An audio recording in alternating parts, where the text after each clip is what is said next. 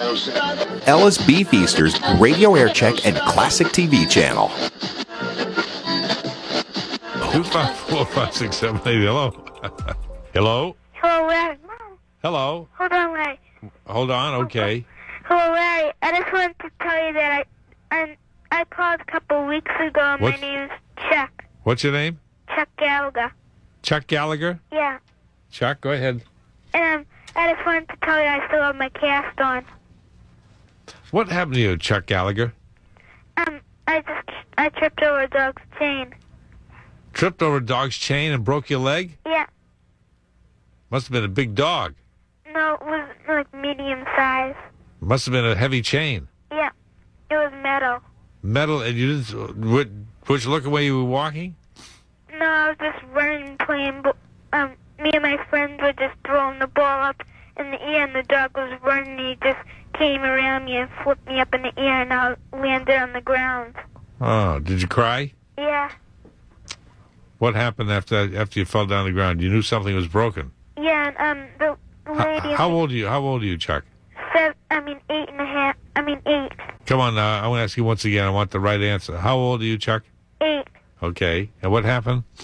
Um, I tripped over a dog's chain. Now, were you in the backyard? Were you in the backyard? Um, yes. And you started crying. Your mother came out. Um, yeah. And then what happened? I just went um up to the hospital. You said, "Ma, something something happened." hmm Did she pick you up? Yeah. How much do you weigh? I don't. I when I broke it, I weighed sixty. Right. How much do you weigh now?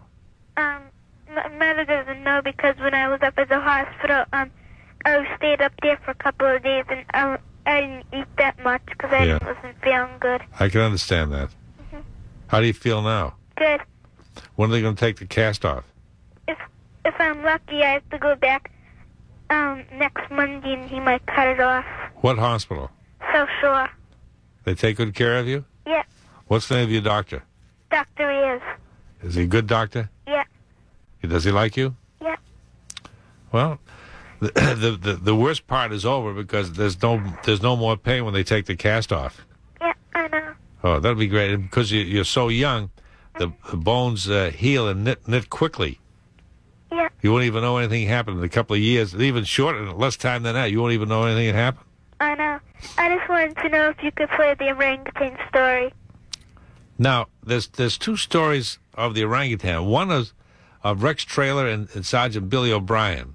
That, Um, that's one where they go to they have to go up to uh, uh, upstate New York or someplace. Uh, was it up? Yeah, I think it was upstate New York to get this orangutan. I just, I just wanted the one when he buys it. when he buys it. Oh, that's Yeah. Billy Clyde. Yeah. Well, he goes down and he said, "I hit him up alongside the head." Is Yeah. that is that the one? Yeah. It makes you laugh? Yeah. Well, all right. Since you're a good little boy, Okay. eight years old, we'll do it for you. Okay? Okay. All right, Billy. I mean, Bye. Chucky. Um, Bye. okay. Be a good boy. Yeah. Bye bye. Bye. Saturday afternoon is a great time. We hope that you're happy. If you're happy, would you nod your head up and down a little bit? Two five four five six seven eight. Hello. Larry? Yes. How are you? Let me check. Not bad, thank you. Good, how are you? Let me check. Oh, Not bad, thank you. did it twice. What you keep asking me? I don't change that quickly. hey, can I tell you something about the Civil War? sure. I bet you didn't know this either. What What's your first name? Dan? From where? Milton? Go ahead. You know, uh, you know, Oh, um, t- is that a radio on? Is someone talking in the background, Danny? I just turned it off. Oh, thank you. You know the vice president of the Civil War was uh, the vice president president of the Confederacy. Yes. His name was Alexander H. Stephens. He was uh, imprisoned in George's Island, out in um, Boston Harbor. Where'd you get that information? I mean, I, I, I never heard that. I read it on a, in a book. Bob Oh. McDowell. How how'd they get him up here? Uh, I guess he was captured towards the end of the war. Here, son again. They took him up here to George's Island. Yep. George's Island. He was in prison there for a while. Then what happened? It wasn't like he was uh, in jail and locked up without any food. He got a nice plush place, so it wasn't that bad for him. How do you know? I read it in a book. Like, And you're interested in history too. yeah, like Yeah. I, I've been to Gettysburg and uh, Oh yes. Pretty Did, nice. did you know that Roger Clemens of the Red Sox was a direct descendant of General Lee Lee? I never knew that. I, that's interesting. I knew he was a rebel. oh, that, uh, Roger Clemens? yeah. Yeah. Oh, well, Tim Tex- Huh? He's a Texan. Is that right? He's a Confederate. That's right. He ain't Confederate. He's an American. The South will rise again, huh? The South will rise again. And uh, another thing is, when I went to um, Gettysburg, Yes. they had a story about this girl who was making dough in her um, Making dough? What do you mean making dough? in her in her house. You mean baking? Yeah, and she got shot by a rubber bullet, and it went right through her house A rubber bullet? and killed her. She Oh. was making dough inside her house, and it killed her. And then um, they found out like uh, later that um, her husband died in a battle, and she didn't know this. She was already dead and all this. It's called the Jenny Wade story. How'd she, they, they weren't using rubber bullets during the Civil War? Well, you know what I mean. No. A rebel sharpshooter shot her. Oh, accident. rebel. Yeah, Oh, rebel. What I thought? What I think you said? I th- Confederate. You know. What I mean. uh, rebel. Oh, I thought you said a rubber bullet. oh, A no. rebel bullet. A rubber. I thought. Oh, rubber. they used minie balls back then. Little Yeah. big Uh, balls, I know it. Muzzle loading guns. Yeah. That's right. Well, all right, all right. You're uh, how old are you, Danny? Sixteen. And you really are you becoming a Civil War buff? Yeah, I've been one. I got a Civil War hat too. Where'd you get that? Um, the Mil- Military Institute in uh, New Jersey. It's a Do you wear it? No. It's just like a replica of a um, Union. It's a kepi. Something for your kepi. Good boy, Danny. You're okay. See you later, Larry. so long, Dan. Thank you. Bye. Little cap for the kepi. Hello. Hello. Yeah, Yeah. Uh, hello. is- this is Jill Ginger. Hey, Ginger. Thanks for waiting, Ginger. Yeah. He's a- Larry, I'd like to get a T-shirt because I'm going to California and I have a couple of numbers here from Venice Beach. oh yeah. Okay. All right. Here's what to do, Ginger. You stay on the line and and, and, and speak to Rickle. Okay. Thanks very yeah, much, Ginger. and I'll be. I'll, do you go to over to Dr. Kaufman's every Tuesday? I see Sometimes. in the window there. Yeah, Tuesdays, Wednesdays, Thursdays, Oh, Sundays, that's when I forties, five, night. ningudi nada. eh, You know. Okay, all Ginger. right. Thanks very much, Ginger. Then would you nada? Two five four five six seven eight. Hello. Hello, Gene. Yeah, hi, Larry. Hi, Gene. How are you? Let me check. Not bad, thank you. Thanks for going over, putting the Merrimack Queen in the water. We had a beautiful ride. Oh, the Merrimack Queen. Yo ho ho, and a bottle of rum. Ho, ho, ho. Sixteen men on a dead man's chest. Number two, on that interview you just had with that little kid, Oh yes, what a kid. I. I was. He really touched me too. You know that. What a kid is right. If you tape that, Yes. you play it back sometime today, I think a lot of people that missed it Oh yeah. really enjoy that. Hey Rick, can we do that? Can, can we get that off the so that interview I had with the kid? Is there any way we can get that? I'd love to. Oh, isn't that funny? That Rick Duat. I'm going to give you a round of applause, Rick. He said he's going to try. I'd love to hear that again too. That kid really touched me. For the folks who didn't hear it, five-year-old kid. This is uh, in, in the Herald. A five-year-old kid applied the the, hem, the uh, Heimlich maneuver to get that get that little piece of candy. He said she grabbed a piece of candy off the off the stereo and uh, and saved her life. And and the mother, a five year old kid. When I was five years old, I, I had a tough time know, I, uh, pronouncing my name. Kid know how to do the Heimlich maneuver. The mother says, "Don't touch that little girl. Don't touch it." Ma, he says, "I know how to do it. I saw it on TV." And he saved her life. Another thing, Larry, That's impressive. You impre- it impressed you too, right, Gene? It did me too. What a sweetheart of a kid. Another thing, Larry, can I hear Scollay Square? Yes, yes. The answer is yes. That's the main reason for my call this afternoon. Rick Tinnery singing his heart out on Scollay Square. But you're going to be able to put on that kid, right? Well, here's what I said. Rick, it's up to Rick. He's Yeah. our, our producer, and the back he said he's going to try to do his best. You know, that's Yeah. similar to the one that you had there where the uh, kid saved his little dog and then the dog saved him. Yeah, right. That's similar to that, only this kid's five years old, six years old. I know it. Boy, yeah. oh, boy. Well, listen, we're going to try to if, if we can get that interview, if we can get that off, Rick will try. He said he's going to try to do it, and he's talented. That kid can do it. Then we'll play it. Right Very now, we'll good. get a couple of messages. Then we'll uh, have a call, and we'll play the Rick Tinnery Scollay Square. Okay? Very good, thank you. Anytime. All right. Hello, Peter. Hi, Peter. Uh, hi, Larry. Hi, Peter. Hi, Larry. Hi, Peter. How are you? Let me check. Not bad. How are you, Peter?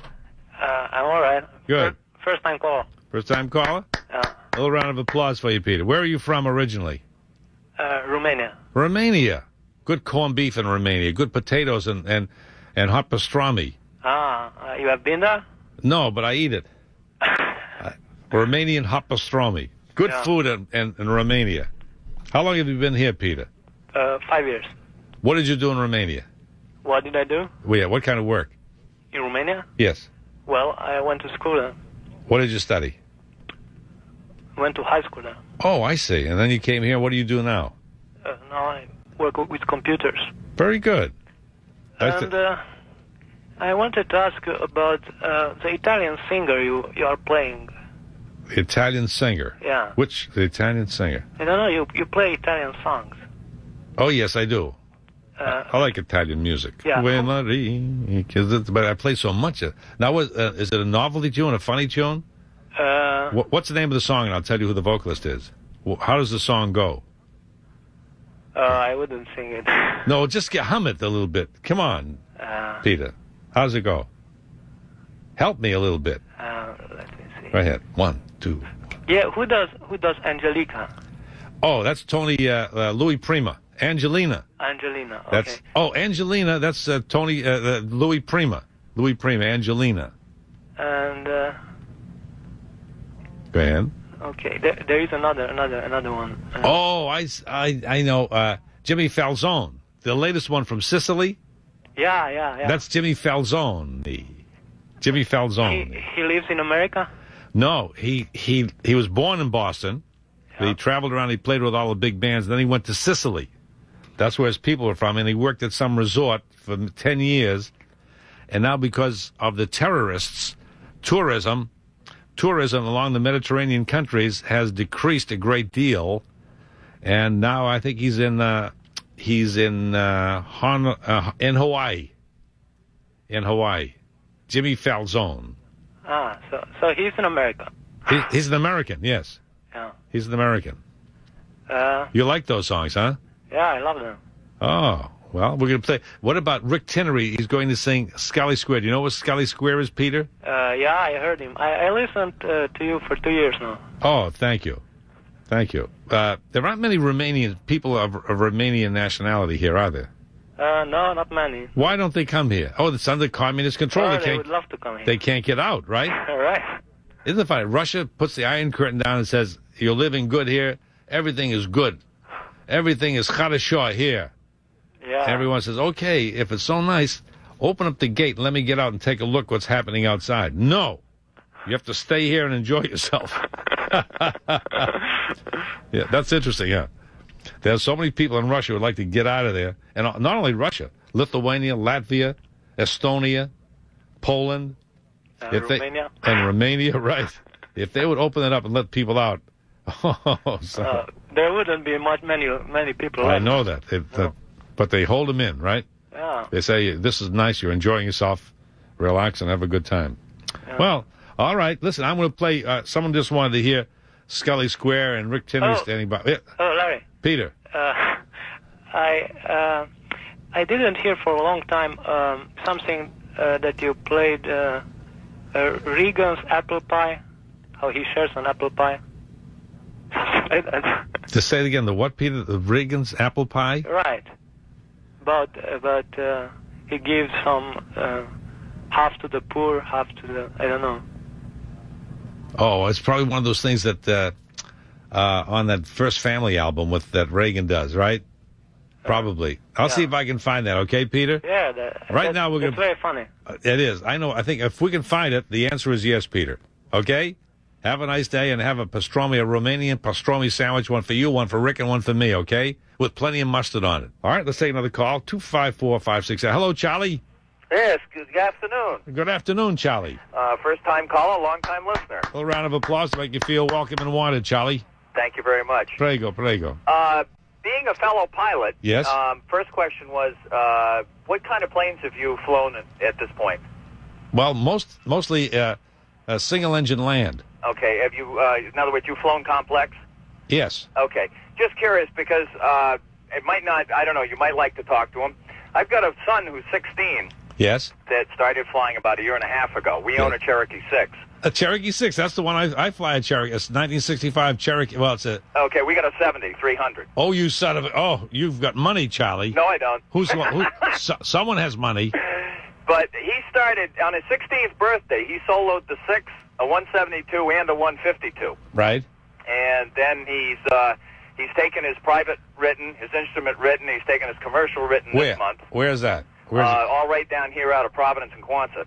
Oh, yeah. Right. And uh, so on his 17th birthday, he'll uh, hopefully have his private and his uh, instrument rating Holy mackerel. on his 17th birthday, and he hopes to be a CFII by his 18th. I'll be a son of a gun. So he's progressing. I would say so rapidly. But how many hours does he have? Uh, about 85 right now. Well, don't you have to have 200 hours before you can take your Uh, instrument? no, they dropped to 125. Oh, we used to have. They have to have 200 before you can even take your instrument. Yep, no, they dropped it to 125. Oh, make it. A, you have to become a daredevil. They, they've got a couple of uh, new sticky rules in there, but basically he had 17 on his birthday. He we're hoping he can do his instrument and his private the same day, but he, he might have to wait a week to do the instrument. Well, does he taken the, the ground school? Uh, the- He's done it all himself. He hasn't done any ground schools. He's done all self-study and, and gone and take the writtens, and he's got above uh, 85 on all the written so far. Oh, that kid. That's a smart kid. He- So, uh, he really did. How long did it take him to study for the uh, the uh, the uh, written for the uh, uh, instrument? Um, he probably put oh, you know, of course he was doing it during school, so but I gotta guess, you know, he's probably put maybe forty hours into it, something like that. Yeah. Say the kid's smarter than I am. It took me a lot longer. Yeah, he's trying to get the commercial done this month because they're about to change the whole thing again. Oh. A new test, a new book, and new everything. Oh, I. Oh, good luck. That's really great. What do you do for a living, Charlie? I'm in the lumber business and the wood business. Yeah, we have log trucks. We uh, truck logs all over the state of Rhode Island, Connecticut, Massachusetts. So I'm sitting on the side of the road talking to you. oh, you're at the side of the road. Where's your son right now? Uh, he's back at the woodlot. At the at the woodlot. Yeah, he works out. Of, we work out of the house too. We've got a processor there, and uh, the boys sit there. They work full time for me. Oh, I was just gonna say if we could get a number, we could uh, call in there and have a little conference call. Yeah. Well, I'll, what I'll do is I'll have him. Uh, I'll have him call you one of these days. What's his name? Jeffrey. Jeffrey what? Uh, Je- Jeffrey Codman. Codman? Yep. C O D M A N. Just like in the rich people, they're the realtors. The Codman Realty. Yeah, that's right. Are you related to them? I don't think so. Not the realtors. Uh, uh, as far as I know, I mean, we may be a relation up there. My my original family was from Boston. Uh huh. The Codmans were very an old Yankee family here. Yep, they still own some property uh, down in the in Beverly area. Right. There used to be. there's a Codman Square in Dorchester. Exactly. Named after them. Yep. After you, right? Yep. Well, you're okay, Charlie Codman. Hold on. To, uh, we have a little gift for you. Okay. Appreciate it. Two five four five six. Hi, George. Hi, Larry. How you doing? Let me check. Not bad, thank you. I've always wanted to hear you say that to me. Well, it's just First time caller. first. You know what you get? Yep. What? Round of applause. Round of applause to make you feel welcome. Nice to have you with us, George. Thank you.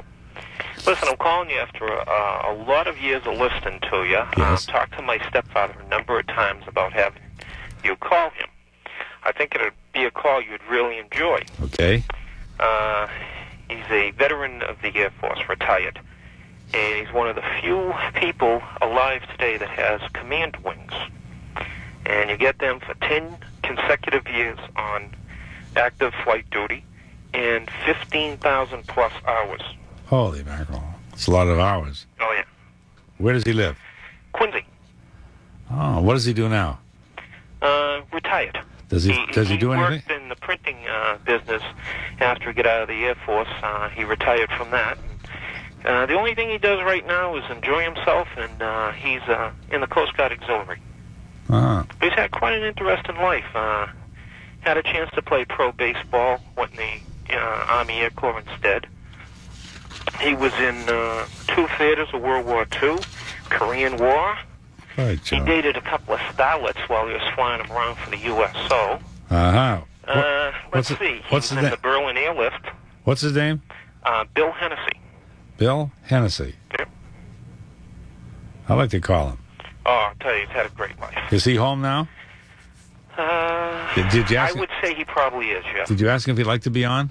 Oh, yeah, I've talked to him about it a couple of times. Now, what was that command thing? On uh, Okay, it's called Command Wings. Command wing. Yeah, now he was on a flight crew. He was a navigator and um, and radio operator. And regardless of your position on a flight crew, Right. Um, these wings have a special insignia on them, and uh, regardless of what you did, you had to have 10 consecutive years active flight duty and 15,000 plus hours. And on top of that, he's owned all kinds of airplanes on his own. Does he fly himself? Oh, yeah. Uh, I don't think he does anymore. Right. Uh, the last time that he went up, I was with him, Right. and geez, he scared me. You know, Why? said- What happened? He said, "What does this thing say?" and I didn't know what he was pointing at. I, ahead. I got real nervous. Yeah. He says, "What does this thing say?" What'd you tell him? I said, "I don't know. What is it?" He said, ah, "Never mind. I've flown for years. I can get us down." Oh, son of a gun! That gave you a feeling of confidence. It give you a funny feeling over here. I, it did then. I got Yeah. very nervous. I'd never been up in a small plane. It was a small Cessna. Right. But uh, he's flown everything. He's flown all over the world. When they used to transfer him in the Air Force, he'd take his own plane and go overseas. Little single single engine. He'd hop around to get there. He'd fly himself over there. Oh yeah, he he's owned more airplanes than he has cars. I'll be a son of a gun. I'd like to speak to him. Okay. So you give Helen the number. All right. What do you do? Uh, I work for a truck company. I'm a warranty manager. A warranty manager, a new truck company. Uh, well, we lease out trucks to other people. What company is it? United Truck Leasing in Braintree. Oh, very good. All right. Hold on and give that to Helen. Uh, You can line it up, see if he's home, Helen, okay? Okay. Oh, and now through the remote facilities of WBZ Boston, we go to Wellington, New Zealand, to see if we get a hold of Mary and John Reddington. Hello? Hello? Uh, John Reddington? Yes. Yes, how do you do? This is a call of introduction. My name is Larry Glick. We're on the air now on WBZ Radio 1030. Are you familiar with this? Oh, well, it's, it's good to hear uh, a voice from Boston. Thank you. Uh, I don't know if you're familiar with this program because our caller said that you've traveled, you and your wife have traveled to many countries. Are you familiar with my program, The Larry Glick Show on WBZ? Yes, I am. My Oh. wife and I are both from Boston, so Yes. we're quite familiar with it. Oh, thank you. Well, thanks very much for coming on. Uh, tell us a little bit about your job as agricultural attaché. What are you What are you doing in, in New Zealand now, John? Well, I've been here now for nearly two years. Um, I work for the Department of Agriculture, and we are posted overseas to 110 uh, different countries as agricultural attaches. What do you What specifically are you trying to promote? What products? What uh, What crops? Oh, everything, anything that uh, that you can eat, uh, from um, grains to uh, animal feeds to uh, California wines to fruits and vegetables, um, health foods, Coca-Cola, Budweiser beer, you name it. uh, whatever the United States produces and exports, that's what we're trying to promote over here. Now, how do you promote it? What do you do? Well, we have um, uh, food shows where we display the products, where people that produce them in the States come overseas and show their products at these shows to different people. We have menu promotions where we go to restaurants and have a uh, an American week where they would be promoting, say, beef and wine and fresh fruit and vegetables. We would have TV advertising, newspaper advertising, um, promotions in stores, those kinds of things. Hmm. Now, how would you compare living in uh, Wellington, New Zealand, with Reading, Mass? Uh, well, Wellington, New Zealand is um, it's a slow-paced way of life. It's got uh, about 140,000 people in the town. Um, there's uh, well, I, I, guess they're about 10 years behind the times in some things, and uh, Like what? oh, fashions. Um, uh, there's no shopping on weekends. Um, What do you mean? They closed? they seem. It, it reminds me of of uh, back in the '50s in, in terms of the family style. Uh, everyone stays uh, close to home. They uh, are family oriented. The morality and, and the, the way of thinking is what it was back in the '50s, back in the U.S. Oh yes. Are they Are they pro-American? Yes, they are. Uh, it's probably one of the closer uh, allies that uh, we've had over the years. The, there's been a little hiccup in that with the uh, ANZUS thing, um, and I'm not quite sure how that's going to all settle out uh, in the next few months. but the the people are very very friendly towards Americans. It's one of the last places in the world you can go and people uh, people just love Americans here. Wh- uh, what's the population of New Zealand? It's uh, 3.3 million. Uh, and uh, what natural resources do they have? Um, most of their uh, livelihood is dependent upon agriculture. Oh yeah. 60% of what is exported is agricultural products, mostly in the form of sheep meats and uh, dairy products.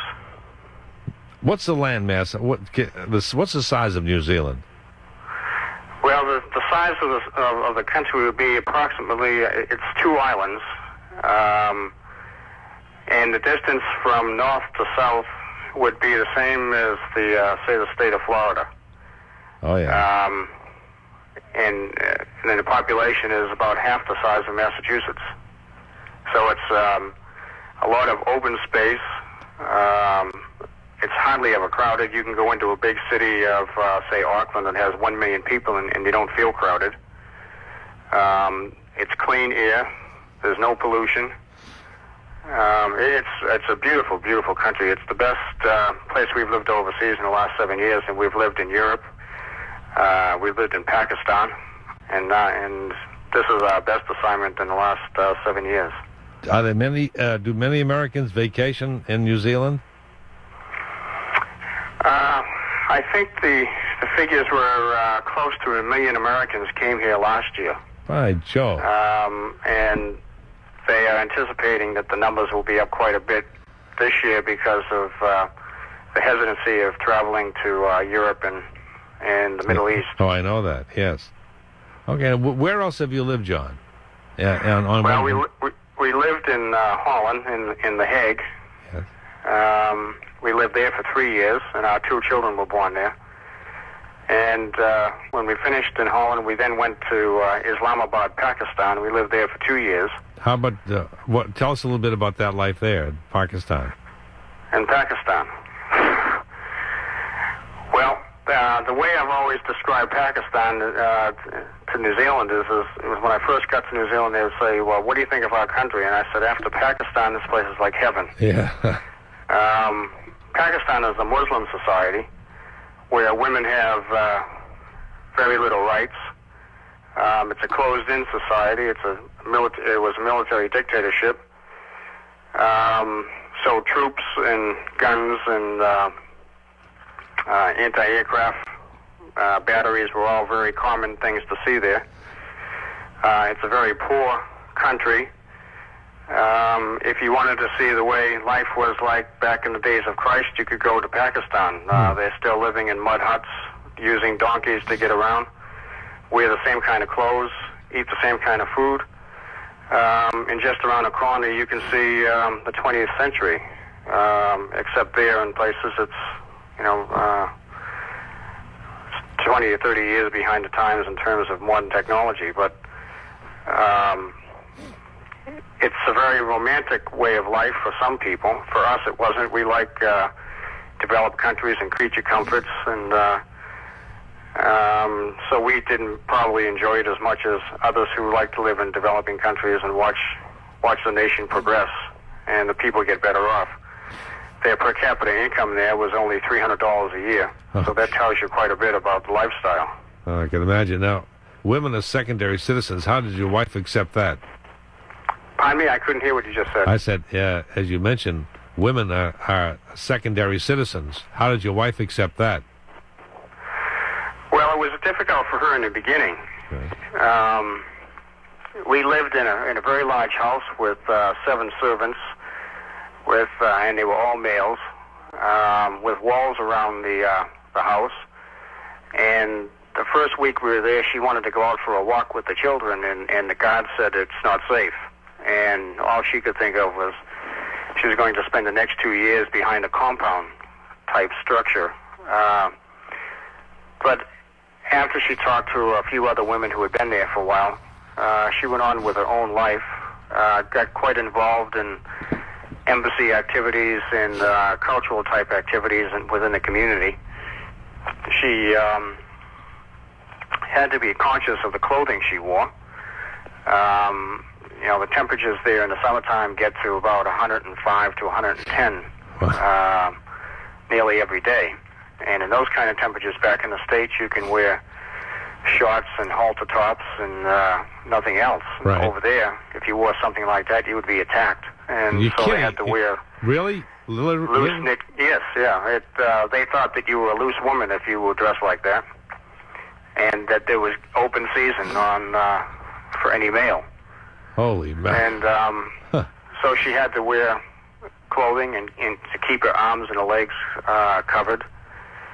Um, and she learned how to deal with all the servants. And um, at the end of two years, we were all quite happy to leave. Yeah. Well, that's you've had an amazing life. we only have one week left here in New Zealand. We're being reassigned back to Washington. And um, the day we leave here will be 4 o'clock, uh, in, oh, 8 o'clock at night on Saturday, and we get to California at 2 o'clock on Saturday afternoon. So we get to California before we leave New Zealand. Yeah. Well, all right. Listen, John Reddington. Uh, uh, now, because you were on with us, uh, you've earned a Glick University T-shirt. I'm going to make you Dean of Agricultural Affairs at Glick University. Uh, where do we send this Glick University T-shirt? Well, that sounds great. If you could send it to, um, We may probably send it to Washington. uh, well, Or we will be in uh, Reading, Massachusetts Ah, for uh, for vacation. We'll send it to Reading.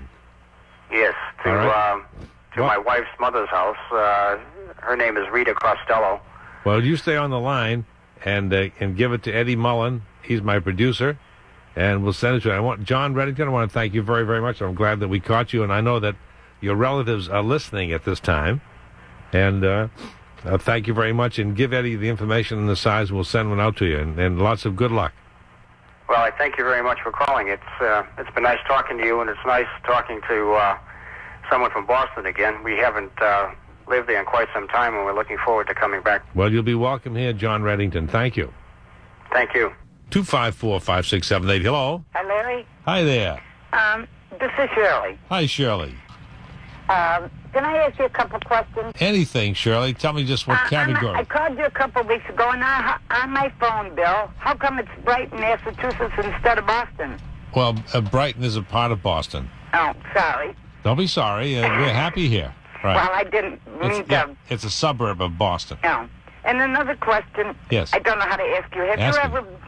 All these women I hear, they seem to uh, attracted to you. Have Yes. you ever been propositioned on the radio? Yes. I thought you probably had. Ah, yes, I did. It's it's very flattering.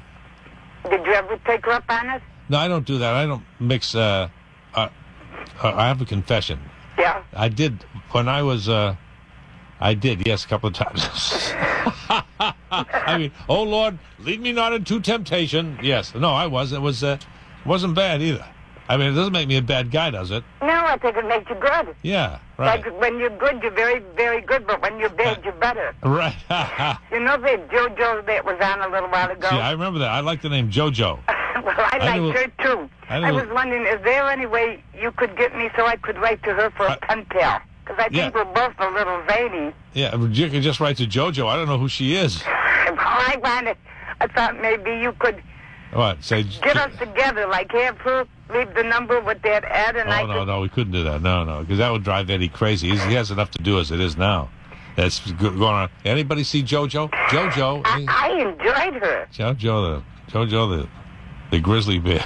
Well, I, um, I, I, it seems that there was something else I was going to Well, well, where are you calling from, Shirley? Williamson, What? what? New York. Where's that? You told me once. Oh, uh, it's about maybe 35 miles east of Rochester, Oh, yeah, about right. two Okay. miles from Lake Ontario. I like the way you say uh, Williamson, as everyone here is supposed to know. Oh, she's from Williamson. It's the best place on, that God made on this earth. I think well. He made this part first, and He gave everybody the leftovers. Uh, yeah, right, Shirley. Wow. So remember, you're going to go help me pick apples and cherries. So oh, you better. I'll come on and pick. You get a, little ladder, and I'll pick the apples. Okay? You don't. You don't use a little ladder. You use a, a straight ladder, Yeah. twenty foot straight ladder. Okay, it was nice hearing from you, and I'll I'll send you a bucket of apples. Okay? We got the apples here. I'll send you a pound of cherries. I'll send we you. got all the cherries and apples we I'll, need. I'll, I'll send you a red-blooded American boy up there. Well, I'm a widow. I better have red-blooded American man, not a boy. Yeah. Well, send Eddie. Eddie. We'll send Eddie up there. He says How he's old is he? 25. Okay, I got Huh? I got children older than that. I'm 51. 51. Yeah. He says he likes older women. Good. I kind of like younger men. Yeah, I knew that. I figured that. He says that the old, older women turn them on. He says they're more experienced and they usually have a couple of bucks. I got a couple of bucks. When you work on a when you work on a farm, I'll tell you, you don't have a couple of bucks. Eddie, you can tell a couple of farmers, uh, farmers' daughters jokes. I couldn't tell them on the air though. All right, Charlie. Okay, bye. Hello. You. Hi, Stan. Yes, sir. Where are you in uh, in Pennsylvania? I'm in Greensburg, Pennsylvania, about 30 miles east of Pittsburgh. Oh, yes. Nice to have you with us. Thank you very much. Tell us about the study of the unexplained and what sort of an organization, how many, and what do you believe? Okay, well, the name of the organization is the Pennsylvania Association for the Study of the Unexplained. And uh, basically, we've been operating for a number of years. I've been involved in this study for about 26 years. And uh, the research group is made up mainly of professional people, including scientists, doctors, engineers, and other trained people who conduct open-minded studies of various type of phenomena reported by the public. Mainly, we deal with alleged sightings of UFOs and um, strange animal sightings such as Bigfoot, uh, black panthers, and other animals that aren't supposed to exist in this part of the world, yet are reported almost yearly by what we feel to be competent uh, observers. It's very interesting. Now, you've been uh, and you've been doing this for how many years? Twenty-five. I've been doing this for almost 26 years. Unfortunately, this is strictly volunteer. This is not our jobs, and all of our funding is out of our own pockets. Well, tell us if you will. Imagine that we're uh, uh, that we're naive listeners and we know nothing about the, this the uh, this group. Tell us tell us about the unexplained. What should, what should we look for? What what have you seen that we haven't seen, or what have you heard that we haven't? Okay, well, first of all, myself, I have never seen a UFO or a Bigfoot. However, over the many years of research we've done, we've conducted literally thousands of personal investigations into sightings here in Pennsylvania, having interviewed many, many individuals, including many what we feel to be competent people, uh, police officers, doctors, air traffic controllers, others who claim to have seen some very strange objects in the sky or very close to the ground. Would you tell us about some of these, please, Stan? Okay, well, we've had uh, quite a number of cases of uh, objects, very large objects, which have come down and hovered very close to moving cars. One instance that we're still continuing to look at happened in October of 1983 up in uh, outside of the city of Altoona, which is uh, quite a mountainous area. And a woman was coming back from her daughter's house when um, an object came up out of a field, came over the right side of her car. This was a round silver object. And as it came over the car, it actually lifted the right side of the car up off the ground, dropped it, lifted the car again up in the air for several seconds, throwing her under the dash of the car. Hmm. The object moved off. She was finally able to get the car over to the side of the road, but there was about a 20 minute power failure, which is quite common when these objects are reportedly around. And um, the interesting aspect is the fact that this object was making a very loud, high pitched sound. The woman lost her hearing in her one ear, and in fact, she still has not regained it completely. She uh, began to lose her hair.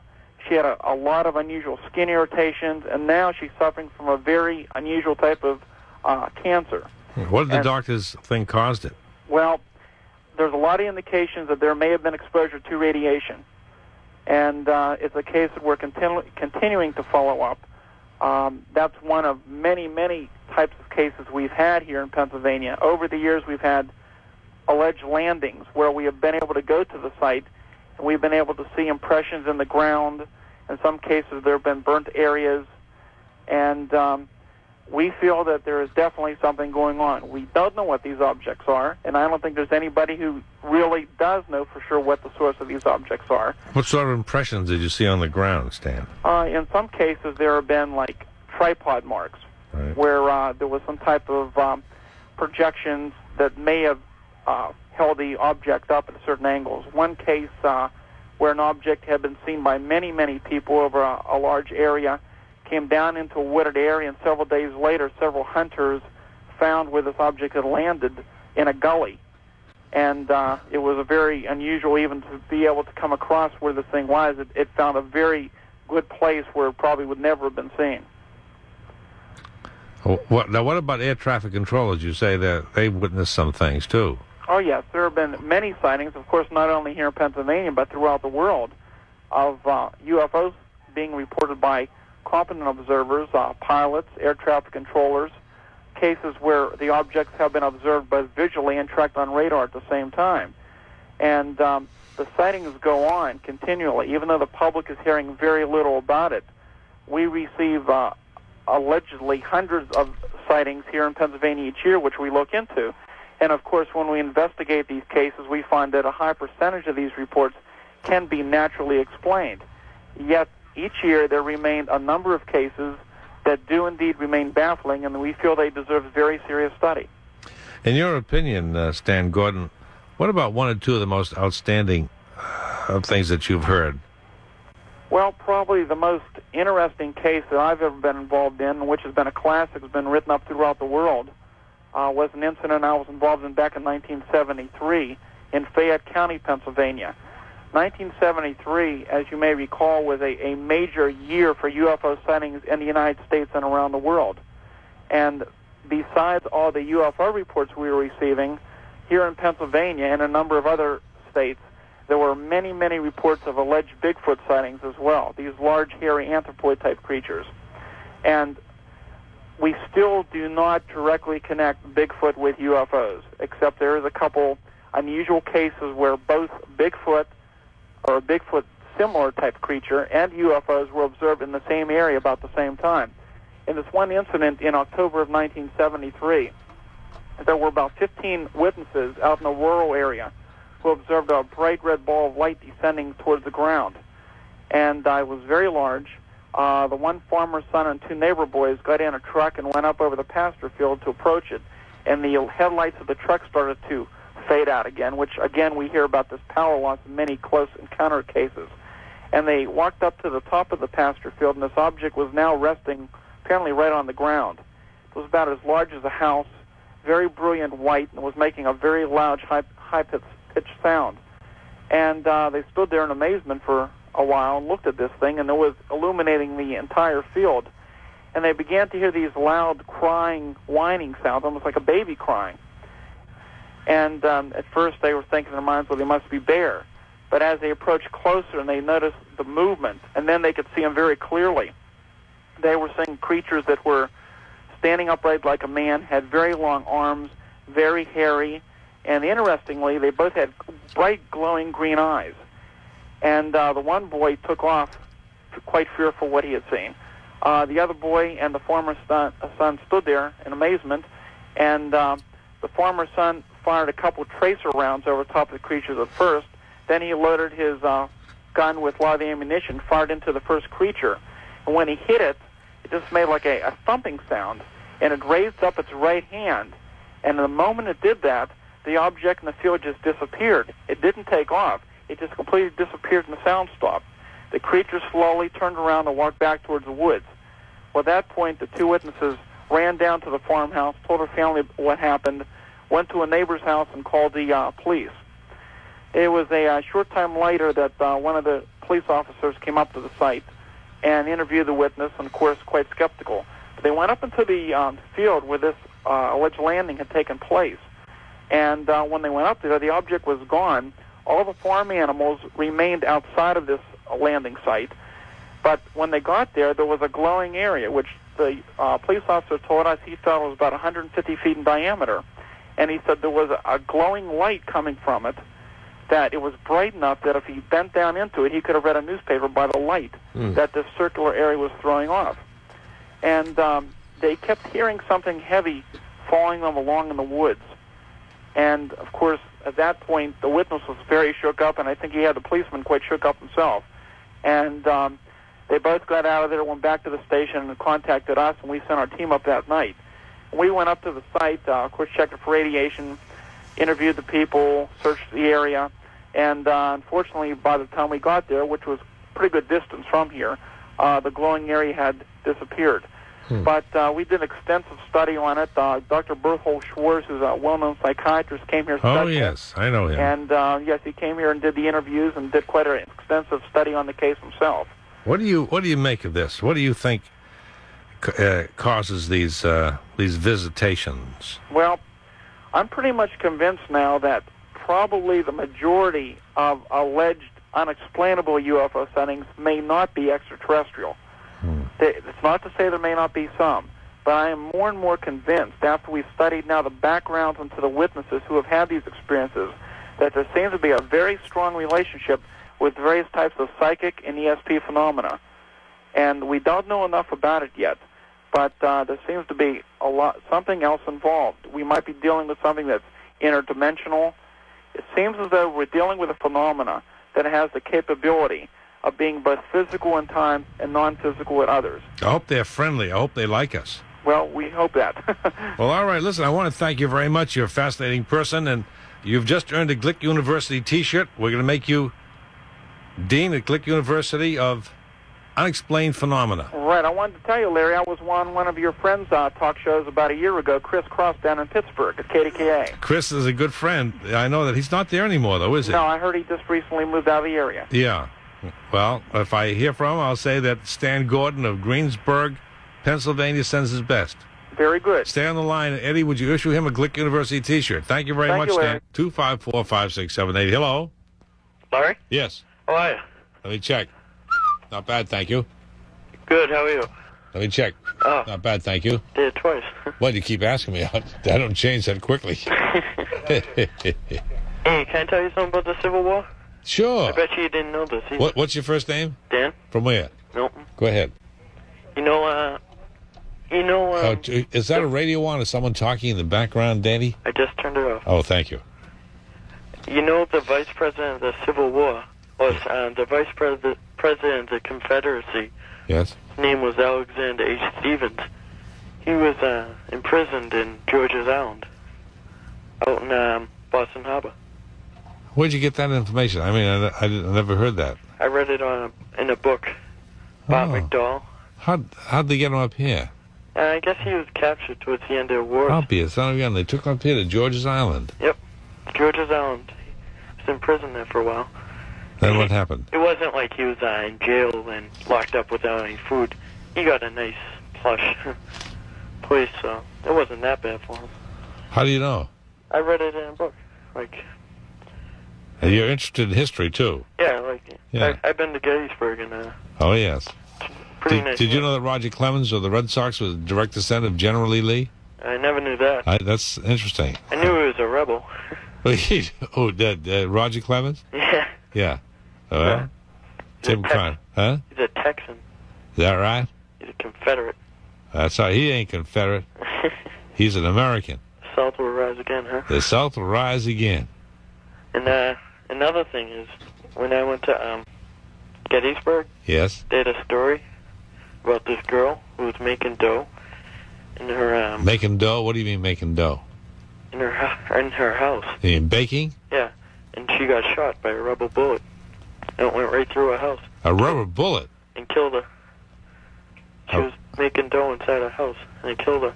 And then um, they found out like uh, later that um, her husband died in a battle, she didn't know this. She was already dead and all this. It's called the Jenny Wade story. How'd she, they, they weren't using rubber bullets during the Civil War? Well, you know what I mean. No. A rebel sharpshooter shot her. By Oh, accident. rebel. Yeah, Oh, rebel. What did I thought? What did I think you said? I th- Confederate. You know. What I mean. uh, rebel. Oh, I thought you said a rubber bullet. Oh, A no. rebel bullet. A rubber. I thought. Oh, rubber. they used minie balls back then. Little Yeah. big Uh, balls, I know it. muzzle loading guns. Yeah. That's right. Well, all right, all right. You're uh, how old are you, Danny? Sixteen. And you really are you becoming a Civil War buff? Yeah, I've been one. I got a Civil War hat too. Where'd you get that? Um, the Mil- Military Institute in uh, New Jersey. It's Oh. Do you wear it? no. It's just like a replica of a um, Union. It's a kepi. Something for your kepi. Good boy, Danny. You're okay. See you later, Larry. so long, Danny. Thank you. Bye. A little cap for the kepi. We're calling Tommy's joint to find out do they really sell buffalo meat? And Wanda. Oh, Christina is here. Right. Okay, it's ringing. Seven German Happy? Yeah, uh, is this Tommy's joint? Yes. Hi, my name is Larry Glick. We're on the air now in Boston on radio. Uh, uh, speak louder because I can't hear you. Uh, my name is Larry Glick, and we're in Boston on WBZ Radio, and uh, we have a listener, and they Uh, say, I want to move to another phone because I can't hear you on Oh, this phone. "Okay, I'll Okay, wait. on, okay? I'll wait. I'll be down to get you in a taxi, honey. You better be ready by half past eight. Now, baby, don't be late. I want to be there when the band starts playing. Don't forget when. Okay. Hi there. Hi. We're on the air now on radio station WBZ in Boston. My name is Larry Glick. We do a talk show and we call interesting places. There's a young lady on the phone from San Francisco. Her name is Christina. Christina, say hello to this gentleman. Hi. Yes. What, what's your first name? My name? Yes. Yeah, my name is Hector. Hector. Yes. Is it is it true? Do you serve buffalo? It's hard to hear you. Uh, do you serve buffalo meat at, at, at this place, Tommy's Joint? Do you serve, Yeah, we still sell, sell uh, buffalo stew. you sell buffalo stew? Yes, uh, it's a buffalo meat Hector, where where do you get the buffalo? from Wyoming. Wyoming. Yes. Where, where where are you from, Hector? Where where were you born? Oh, I'm born in Guatemala City. In Guatemala. Did they ever serve buffalo meat in Guatemala City? No, No. no, never. What does it taste like? Pardon me? What does the buffalo meat taste like, Hector? Uh, it's like like beef, just a little bit sweet. Now, would you would you uh, what, what would you prefer, if steak or buffalo meat? Oh, I prefer the buffalo. Uh, you, Yeah, it's because it's more tender. how do you prepare it? Can, can you tell? Can you speak to us for a minute or two? Yeah, it's like uh, we prepare like uh, a stew. Right. Uh huh, with potatoes. Uh, How much do you charge for a bowl of buffalo stew? uh, four sixty five plus tax. Uh-huh. Now, is is are you, what is your job there, Hector? Are you the? Pardon me? What is your job? Do you own the place? I, or, No, no, I'm a, uh, uh, the head bartender. Aha! I see. How long have you How long have you been there at, at the? Uh, I've been here about four and a half years in this place. now, Hector, what else do they serve beside buffalo meat? Um, we serve sandwiches like uh, turkey, Yes. um, barbecue brisket, corned beef, pastrami, uh, and uh, plus the special the we have uh, like uh, like tonight we have a buffalo chili, you know, like a chili, uh, Texas. Buffalo Uh, we, chili, we, huh? Yeah, we make it with a buffalo, buffalo chili, and a veal cutlet, a steak sandwich, uh, meat, meatball spaghetti, and a turkey legs. Is the is the uh, buffalo chili a big uh, a big item? Oh yeah, yeah, we sell a lot of uh, buffalo chili. How much do you get for the buffalo chili? Uh, we charge only three twenty-five. Uh, Three do, plus tax. do, do any people ever complain of of agita? You know? Pardon? Do you know what agita is? Agita. Uh, indigestion. Any people ever get buffalo? Oh no, no, no, no. We indigestion? don't have any complaints Heartburn? that. No. Huh? No. Uh-huh. Well, that's very, very nice. Listen, uh, because you are so nice, Hector, uh, my name is Larry Glick, and when we interview interesting people like you, we give them a Glick University T-shirt. And Oh. if, if you stay on the line, I'd be honored to give you one. My producer, Stu Fink, will give you a Glick University T-shirt from Boston. Uh, I don't hear you. Oh, just stay on the line. Stu, would you take care of, of, of Hector? Yeah. Uh, Stu, thank you very Let's say hasta luego. Hasta luego. Hasta luego, amigo. Okay.